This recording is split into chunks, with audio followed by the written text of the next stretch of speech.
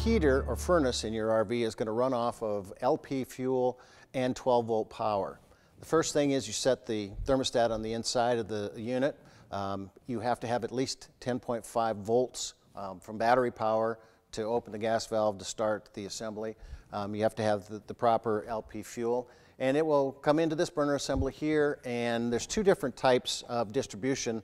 In a system like this, it actually has a plenum that runs underneath the flooring section, and you'll see the vents right in the floor off to the side of the floor. Now, a lot of manufacturers, especially in your trailer side, will put in a series of tubes that are coming off of this heater, and they will go through the cabinetry and off to the other, other side of it. So basic things to look for if I got insufficient cooling is do I have enough battery power to light this? I also want to check to make sure that this vent out here is open because if I have a spider that likes the smell of propane that spins a web in here, it's going to block this, it's going to restrict my exhaust coming out of here, and it's going to restrict it inside.